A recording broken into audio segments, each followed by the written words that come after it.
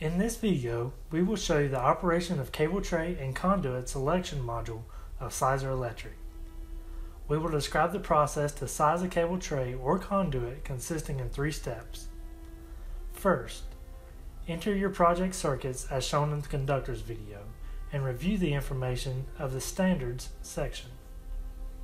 Second, create a conduit and a cable tray cross section. And third, assign your circuits to the cable tray or conduit to select the width or diameter. Finally, we will print the different reports. First, let us review the information of the standards section. To do this, select the option View in the main menu and then select Standards, or directly click on the Standards icon in the toolbar. This will open a primary window. Next, select the Conduits and Cables Tray tab. Here you will define the fill factor required for your conduits and cable trays. For example, if the project specification indicates you should keep 20% space for circuit growth, define the fill factor as 80%. This way the cable tray or the conductor will fill up 80% and will keep 20% for future growth. Although the National Electric Code defines a wide variety of cable tray widths, it is common that the project specification limits the minimum and maximum cable tray widths. For example, 12 inches as the minimum and 36 as the maximum cable tray width. A similar condition is applicable to the conduits. In this frame, you should select what will be the minimum diameter to be selected by the software and the maximum conduit diameter allowed in the project. To select the cable tray width, the code allows to have a common electrical grounding conductor, or EGC, of the maximum size of the group of circuits with derivations for every circuit or equipment grounding conductor for each circuit. In this frame, you should select the number of EGCs to be used for the cable tray width sizing. First condition allows you a single EGC for all the circuits in the cable tray, and the second one uses EGC for every conductor increasing the cable tray width. Press the OK button to validate the information and close the window. Then, you should create a cable tray cross section. In the cable tray network, a cross section is represented by a specific point where you want to define the cable tray width due to the change in the conductors installed. To create a new cable tray cross section, select the option View, and then Cable Trays and Conduits, and in the submenu, select Capture. An alternative way is to press the Cable Tray and Conduits icon in the toolbar. This will show you a grid. Each record in this grid represents a cable tray cross section or a conduit. You can add, delete, edit, or filter the records in the grid using the icons in the grid toolbar. Select the icon Add in the toolbar to create a new cable tray cross section. This will open a primary window with the information to define a cable tray cross section. Type the cable tray tag in the name field. Then select the cable tray in the type combo box. Here you can select to enter a cable tray or a conduit. Type the length of this cable tray section in meters. The fill factor will show you the default value defined in the standard section, but you can customize the filling for this cable tray by checking the checkbox and typing the maximum electrical fill required for the cable tray or conduit. The Notes text box allows you to enter a brief description of the section under analysis if needed. Select the cable tray type and the material used for the cable tray construction. By adding different segments, you can create a modeling of your cable tray network. You can keep your modeling as simple or as complex as you need. The segment type allows you to define each section of the cable tray network. Let's define a section as a straight one. Type the cable tray height and let's remember that the cable tray height is mechanical consideration according to the cable's weight and the span between supports. Finally, if you want the cable tray to be sized according to the cables installed, leave the user selection box unchecked. If you have a predefined cable tray width and you want the software to calculate the filling based on the conductors installed, check the user selection box and in the combo box, select the predefined cable tray width. Press OK and validate the information and close the window. If you want to create a conduit instead of a cable tray, press the Add icon on the grid toolbar that will show you the same primary window. Type the conduit tag in the name field, and then select conduit in the type field. Then define the length for the conduit and also the fill factor. Then fill in any notes and any general information. You can notice that the section under Features changes to define the conduit.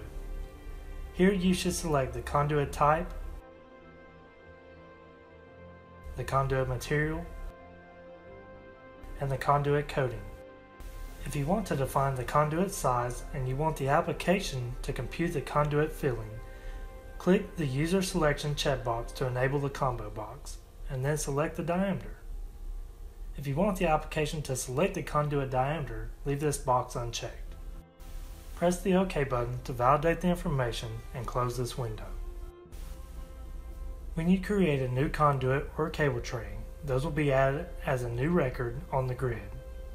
You can manage the records with the options in the grid toolbar. Notice that in the extreme left column there is an icon for a conduit and an icon for cable trays. When there is a check sign over these icons, it will indicate that the conduit or cable tray has circuits allocated for its sizing. Now is the time to select the conduit diameter or cable tray width. To do this, we need to select the option Views in the main menu and then Cable Trays and Conduits, and then select Circuit Allocation or Conductor Allocation icon in the toolbar. This will show the window for circuit allocation into conduits and cable trays. Let's get familiar with this window.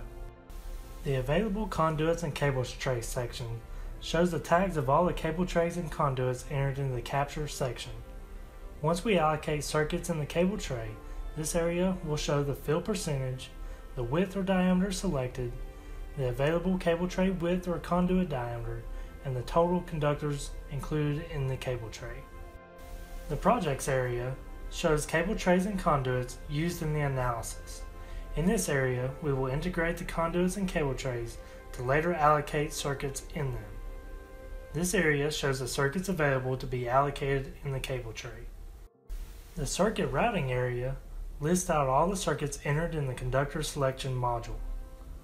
When a circuit is selected and highlighted in this list, the area assigned will show the specifications, load type, and the circuit voltage. This list will show all the cable tray or conduits where the circuit was allocated. Let's start with the cable tray sizing process. Select the tag of the cable tray you want to analyze from the list named Conduits and Cable Trays. This will appear highlighted in the list. Now press the button with the arrow pointing to the left to assign the cable tray to the project area. The project area works as a file explorer with the same hierarchical principles. Here you can have a cable tray or a conduit at the same level to identify those are different. Or you can define a hierarchy allocating one cable tray into another to denote these cable trays are mechanically connected. Conduits hierarchically dependent from a cable tray will denote trips to download circuits from cable trays to the loads using conduits. Once the cable tray appears in the project area, you will notice that when you highlight the tag of the cable tray, in the available circuits section appears a list of all the circuits entered into the conductor selection module. To allocate a circuit into a cable tray, be sure that the cable tray is highlighted in the project area and then select the circuit in the available circuits list. Note that when you select a circuit tag in this list, all circuit relevant information will appear in the area assigned for circuit referential information. Press the button with the arrow pointing to the left you will see that the circuit disappears from the available circuits list and is now shown in the hierarchy of the cable tray. This represents that the circuit is now installed in the cable tray. Note that after allocating the circuit, the area in the upper left is updated showing the cable tray width selected, the percentage field, and the cable tray width available. Here you will also identify the number of total conductors allocated in the cable tray. Let's repeat the process to allocate another circuit. Select the cable tray in the project area, Then select the new circuit to be allocated from the available circuits area. Press the left arrow button or double click on the circuit and you will see that the second circuit tag now appears under the same cable tray. At the same time, the progress bar representing the cable tray fill will be updated as well as the number of total conductors. Also notice that the cable tray icon appears to be checked in the conduits and cable trays list. This checkmark indicates that the cable tray has now circuits allocated on it. Now let's add a conduit using the same allocation process, but now we need to define if the cable tray and the conduit are interconnected. Let's assume that the conduit is a derivation from the cable tray to take the circuit to the load. To represent this dependency, we need to select the cable tray in the project area, and now select the conduit from the conduits and cable trays list. Press the left arrow button and now we will see that the conduit is hierarchically dependent on the cable tray, representing a derivation. Now to allocate the circuit into the conduit, we need to select the conduit in the project area. And when it is highlighted, select the circuit that will derivate from the cable tray through the conduit. Once the circuit is selected, press the left arrow to allocate the circuit into the conduit. This will show the circuit hierarchically dependent on the conduit in the project area. The area in the upper left will show the conduit diameter, electrical filling percentage, and the available area with the number of conductors installed in the conduit. To select cable trays or conduits without any dependency, you will need to select the project label icon at the top of the project area and assign the conduit and cable trays with the procedure described before.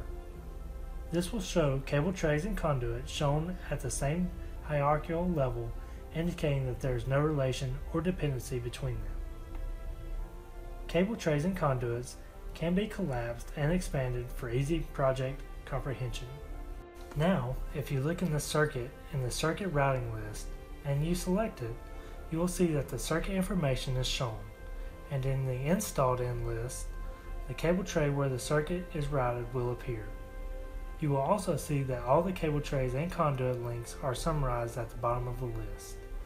If the sum of the segment lengths is longer than the conductor length used for the conductor selection, the sum of the label will appear in a red color, indicating that the conductor data should be revised.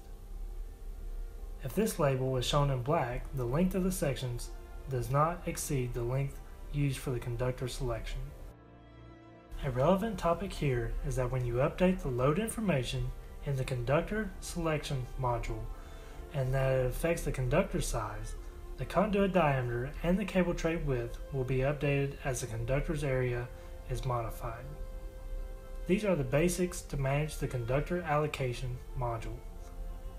Now you can print a tabular report of all the cable trays and conduits as well as the conduits allocated in cable trays by selecting the option Report in the main menu and then selecting the option Cable Tray. This will show three different reports available. The first report will show the list of the cable trays and conduits in your project and the filling computation. The second report will show you the circuit general information and the list of the cable trays or conduits where the circuit is routed. And finally, the third report will show the list of circuits installed in each conduit or cable tray. Select the report required. A window will appear showing filtering fields and the heading to customize the report. Define your filter criteria and press the OK button to show you the tabular report. These are the basic steps to manage the cable tray and conduit selection module. For detailed information, read the software manual or visit help files included in the software in the option Help of the main menu. Thanks for your attention and we recommend you see complementary videos for conductor specifications and grounding grid design for a complete knowledge of the Sizer Electric software.